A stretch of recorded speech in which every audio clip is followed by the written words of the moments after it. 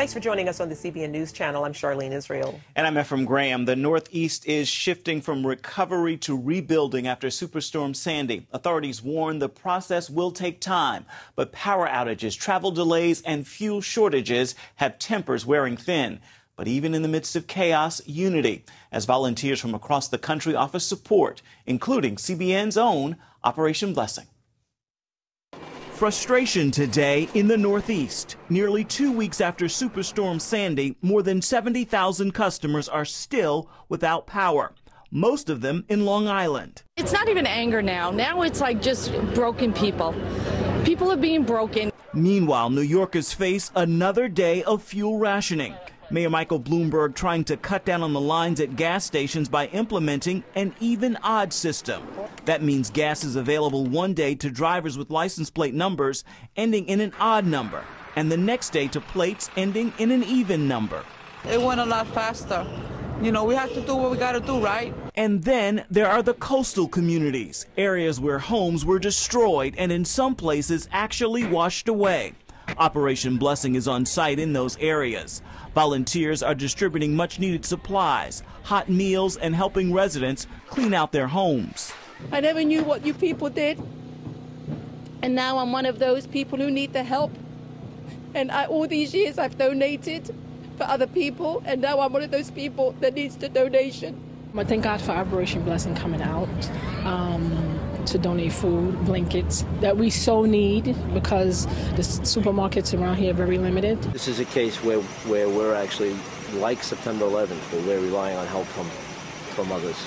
And, uh, um, and, and I'm speaking to a couple of these others right here, and you and, and that young men and women and your teams. So I thank you.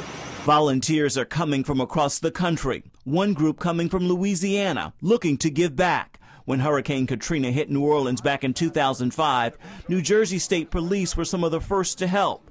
Those Katrina victims say that help has not been forgotten. We pay it forward. You know, you all came to us from, in our dire needs. Now this is a little help line up from New Orleans to you all. And there are many signs of recovery today as well. Power is restored for thousands. Many bridges and tunnels are reopening, and there is limited train and ferry service that's back up and running. There are still many unanswered questions surrounding the resignation of CIA Director David Petraeus over an alleged extramarital affair. New details suggest a friend of Petraeus' family sparked the FBI investigation that revealed the affair and led to him stepping down last week. But congressional leaders say there are even more pressing questions in this case. Many are concerned about what the White House knew and when. And then there is the timing of Petraeus' resignation. It comes just as he was scheduled to testify about Benghazi. At the end of the day, the one thing that has to happen, in my view, is we got to get to the bottom of Benghazi.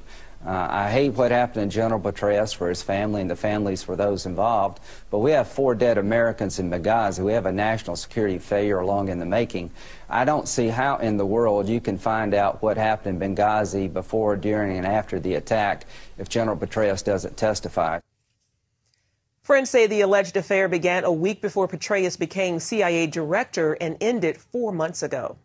The vice president of Iran says his country will break the quote grasping hands of the newly reelected President Obama. Mohammad Reza Rahimi is known for hardline anti-Western statements. He also says Iran will overcome U.S. led sanctions, which have hit his country's e economy hard in the past months. Meanwhile, Iranian officials dismiss the impact of Obama's reelection. They say it will have little impact on Washington's Iran policy. Iranian President Mahmoud Ahmadinejad mocked the cost of campaigning. He dubbed the vote a battleground for capitalists. On Sunday, Israel fired a warning shot into Syria after a Syrian mortar landed in the Golan Heights. On Sunday, Israel fired a warning shot into Syria after a Syrian mortar landed in the Golan Heights. We understand that this was a mistake and the mortar was not meant to target Israel. Uh, and then this is why we actually fired warning shots in retaliation. It marked the first time since the 1973 Yom Kippur War Israel had fired into Syria. And raise fears Syria's civil war will draw Israel into the conflict. Uh, Israel will do everything that is needed in order to bring uh, quiet and safety to the people of uh, Israel that live in the northern part of our country. On Israel's southern border, more than 120 rockets landed in towns like Sderot since Saturday. Some, like this rocket, scored a direct hit. Israeli officials blamed Hamas, who controls the Gaza Strip, and threatened to escalate their military response. The Hamas terror chieftains, uh, they cannot uh, hide. They'll have to be a target themselves until those things are over. While the rocket attacks shook Israeli residents, Defense Minister Ehud Barak warned Israel could launch a major operation to stop the terrorist groups. Noam Bedein of the Sderot Media Center says Israeli residents have endured this situation for years. Over a decade, that somehow became acceptable, and people are not even aware of a reality where you have rockets being fired towards civilian populations. That's the absurd. Chris Mitchell, CBN News, Jerusalem.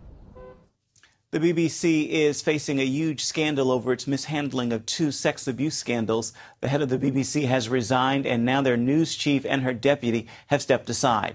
The BBC has been under pressure for covering up reports about now deceased BBC personality accused of serial child sex abuse. Police received complaints from some 300 victims, accusing BBC host Jimmy Savile of abusing them, with some of the abuse occurring on BBC premises. A British politician was also wrongly implicated in a sex abuse claim. The story you're about to see was blacked out by France's politically correct media. What was it? A patriotic march for French values and culture and against radical Islam. Dale Hurd reports from Paris. They chanted against Islamic fascism and about the French victory over Arab invaders in 732. It was the first march of its kind in France. A broad coalition of groups from across France have come together because they feel like they're losing their country to radical Islam, Sharia law, and a politically correct establishment that encourages the spread of Islam. Sharia law is uh, slowly uh, enforced in our countries, and we want to march here to protest against that because our government is doing nothing. The French people, they want to defend their culture, their history. They are called fascists. I think it's not only a problem of France. It's a problem of Europe. It's a problem also of uh, USA. There was no visible counter demonstration.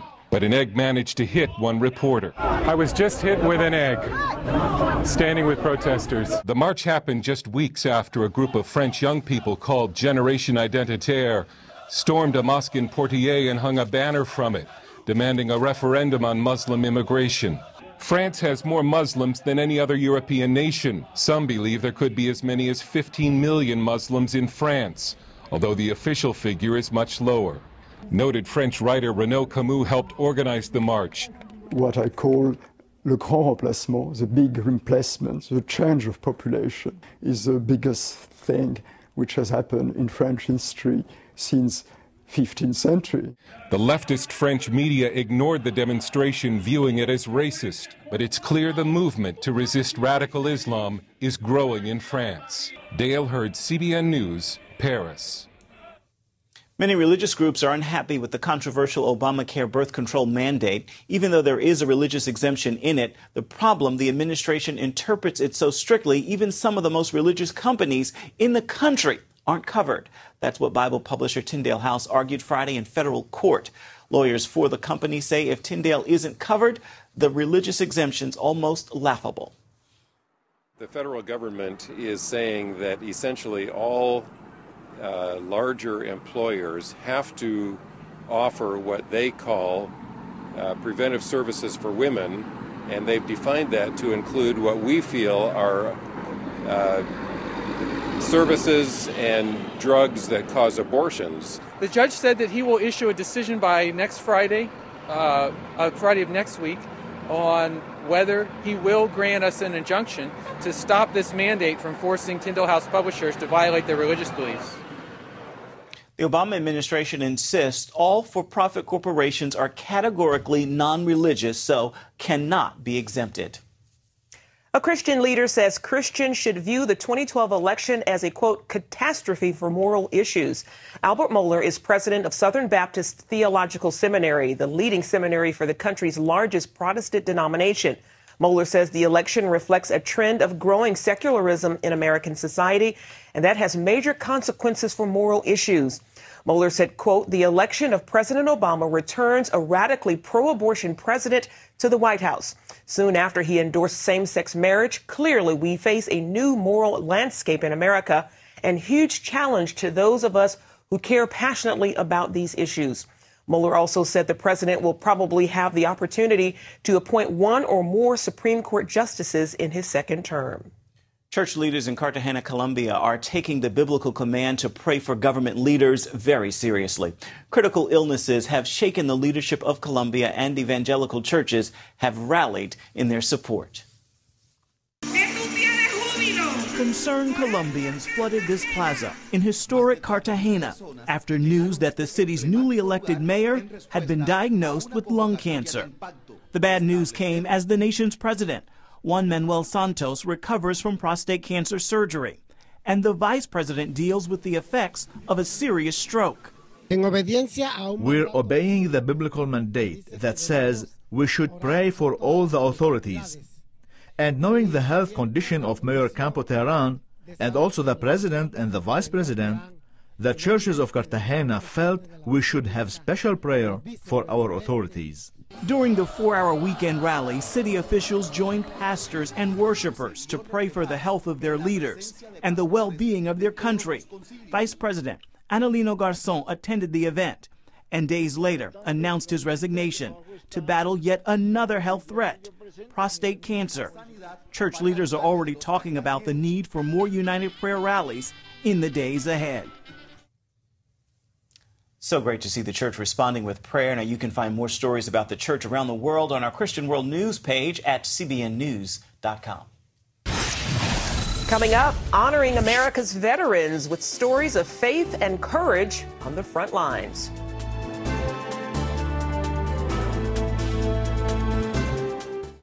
I'm so glad we could be here for Larry. I was surprised to hear there was no life insurance. Funerals are so expensive. I hope Larry can afford it. I know. That's why I'm glad I got a policy through the Colonial Penn program. Do you think they have coverage for me? Something that'll fit into my budget? Yes. You can get permanent coverage for less than 35 cents a day. You won't have to take a physical or answer any health questions. Plus, your cost will never go up and your coverage will never go down. If you're between 50 and 85, you can get guaranteed acceptance life insurance for less than 35 cents a day. There are no health questions or medical exam. You cannot be turned down because of your health. So call about the Colonial Penn program and ask one of their representatives about a plan that meets your needs. I'm definitely going to call about the Colonial Penn program. Call 1 800 219 1201 for free information and a free gift. Call now. If you have diabetes and you're on Medicare, call now for a new pain-free meter. These new meters are more accurate, they're easier to use, and the best news is you don't have to prick your fingers anymore. Call now and Arriva Medical will send you one of these new meters for free. And if you have Medicare, your testing supplies may also be covered. Arriva makes it simple. They bill Medicare directly. There are no upfront costs. And they deliver your supplies right to your door for free. With these new meters, there's no coding, you don't have to prick your fingers, and some of these meters even talk. Your blood glucose reading is 122. And if you call 1 800 284 9762, we will send you a free Betty Crocker Diabetes Cookbook filled with delicious recipes. Call Arriva today. You'd be glad you did. Another tragic insider killing in Afghanistan. A gunman wearing an Afghan army uniform has shot and killed a member of the U.S. led coalition forces. It is the latest in a spate of insider attacks on coalition members by Afghan forces.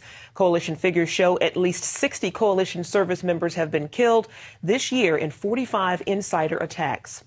Sunday was Veterans Day, a day to remember and thank those military men and women who've served America from the Revolutionary War to today. Historian Jane Hampton Cook has written several books on our veterans, including stories of faith and courage from the war in Iraq and Afghanistan. Lee Webb spoke with her about this sacred holiday. Red, white, and blue. Now, we take for granted uh, the colors of our country, but you say there's significant symbolism to those colors. Tell us about that. Yes, the Continental Congress in 1782 defined red, white, and blue. They gave meanings.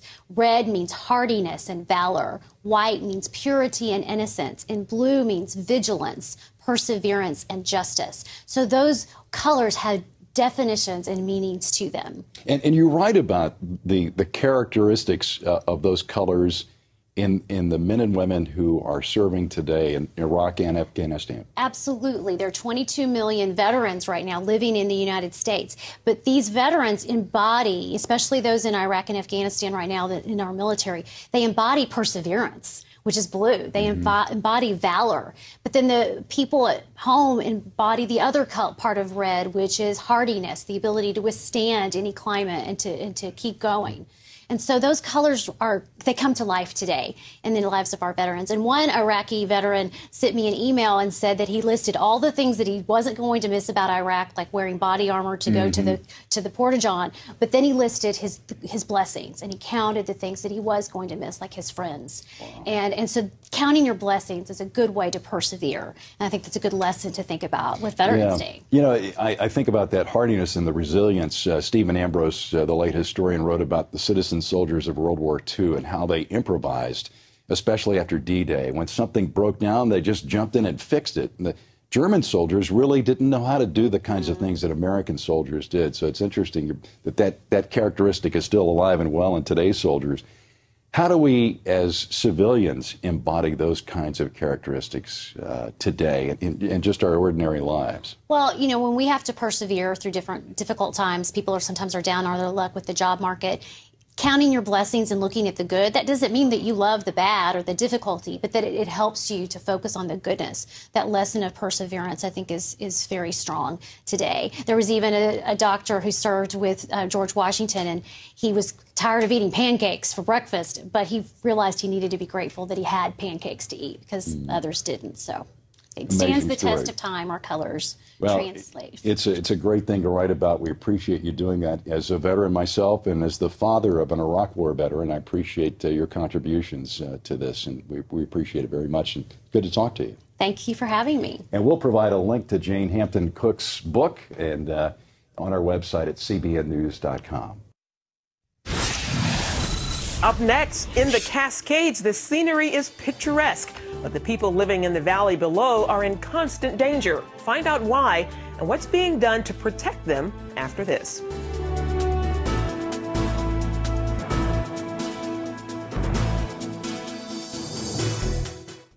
Dear Bowflex, I dropped eight dress sizes, 36 pounds, and all I had to do was walk.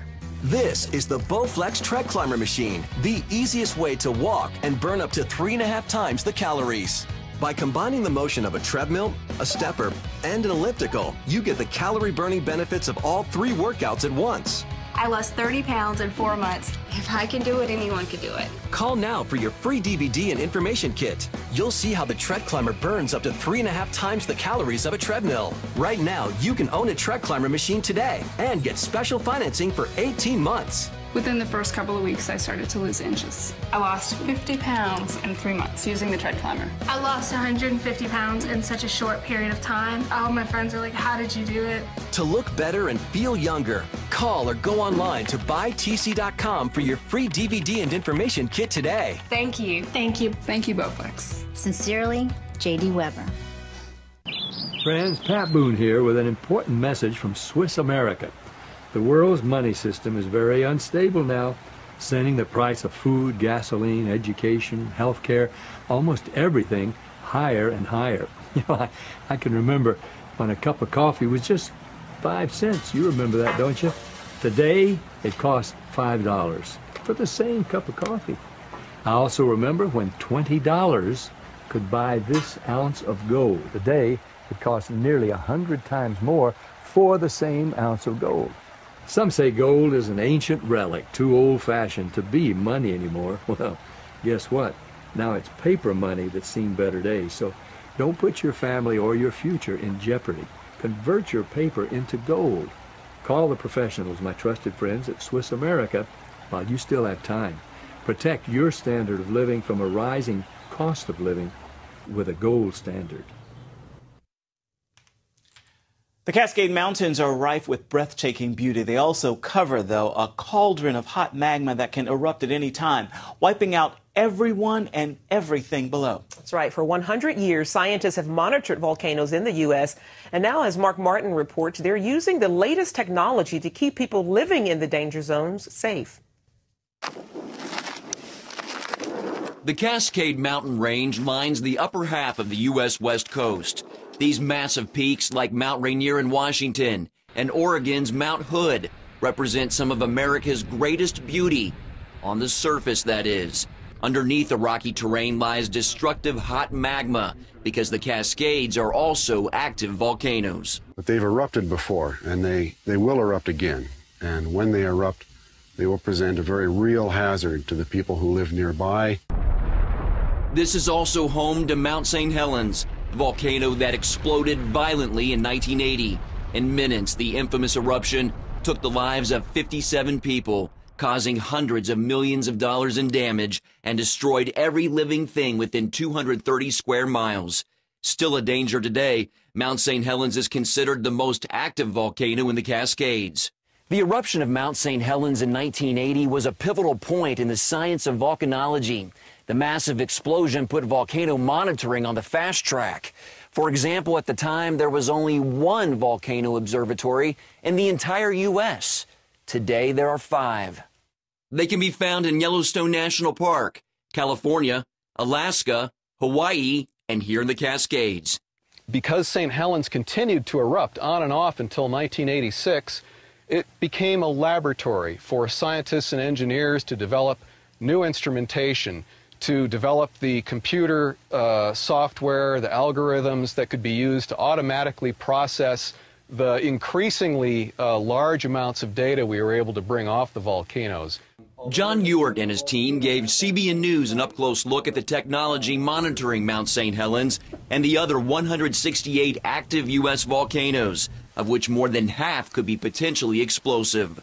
What these instruments allow us to do is to look at um, data in real time and get the data to our colleagues so we can build a more comprehensive, um, more comprehensive view of what a volcano is doing during unrest. Scientists examine three primary signs when forecasting eruptions. How much a volcano is shaking because of earthquakes or vibrations due to fluid. If it's swelling or changing shape because of magma pushing on its sides and the amount and types of volcanic gases it's sending out. It's important because uh, ultimately volcanic gases drive volcanic eruptions.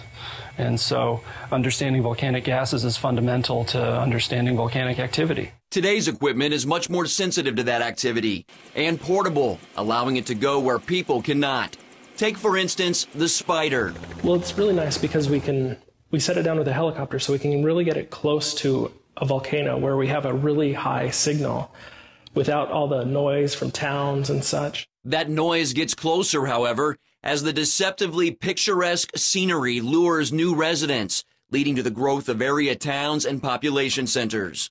In the Cascades as, the, as a whole, the one that we worry about the most is Mount Rainier because of the number of people living in the valleys on the, on the west side.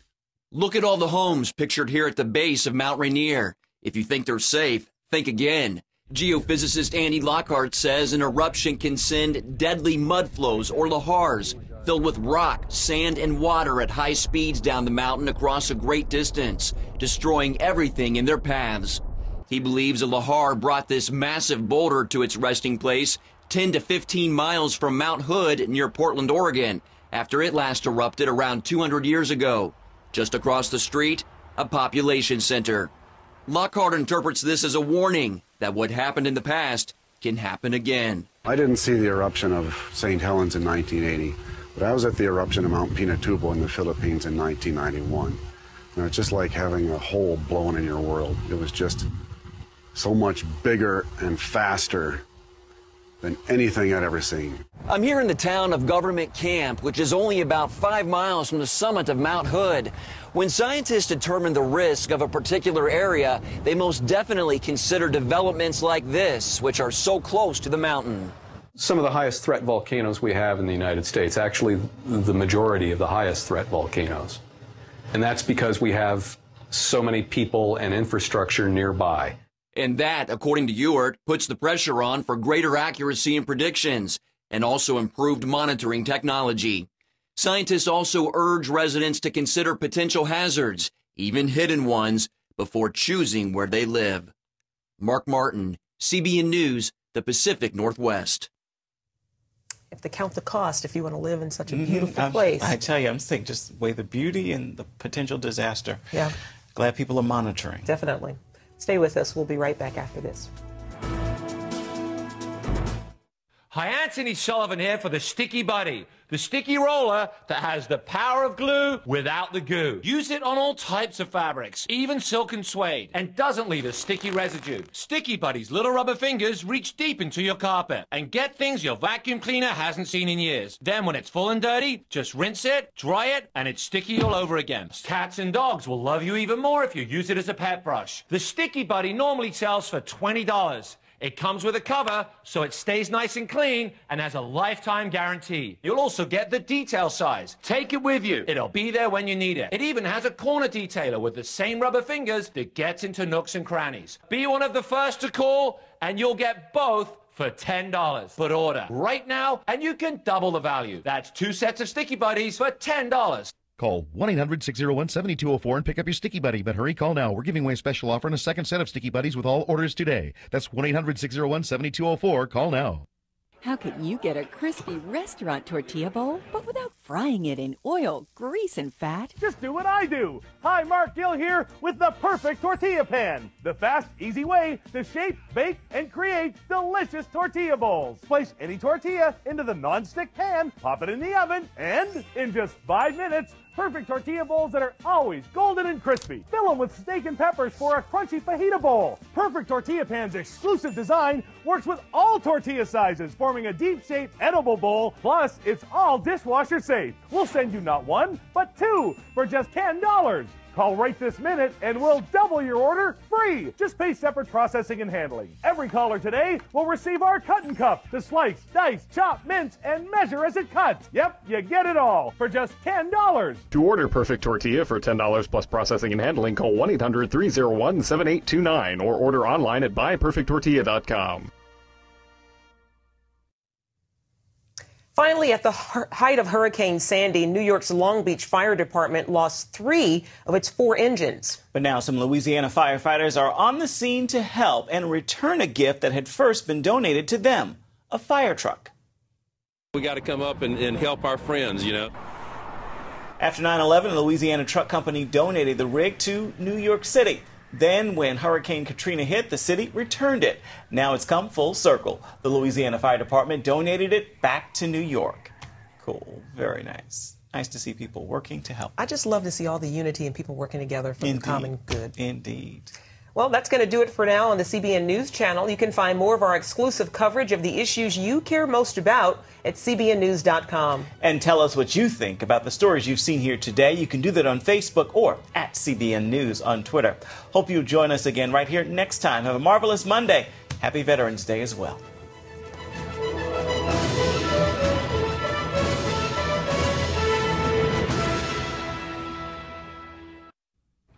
If you have diabetes and you're on Medicare, call now for a new pain-free meter. These new meters are more accurate, they're easier to use, and the best news is you don't have to prick your fingers anymore. Call now and Arriva Medical will send you one of these new meters for free.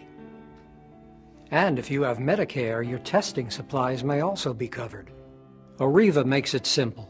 They bill Medicare directly. There are no upfront costs. And they deliver your supplies right to your door for free. With these new meters, there's no coding, you don't have to prick your fingers, and some of these meters even talk. Your blood glucose reading is 122.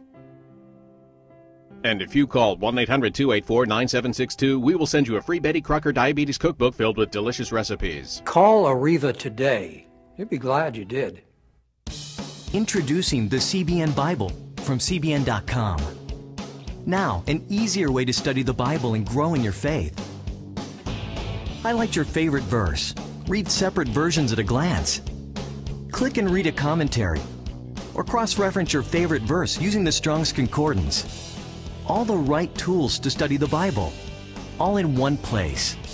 The CBN Bible, available at cbn.com/bible or the iTunes App Store.